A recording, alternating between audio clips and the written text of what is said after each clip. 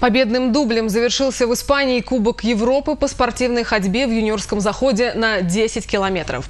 Воспитанница Чувашской школы спортивной ходьбы Клавдия Афанасьева и Мария Лосинова выиграли для сборной России командное и личное первенство.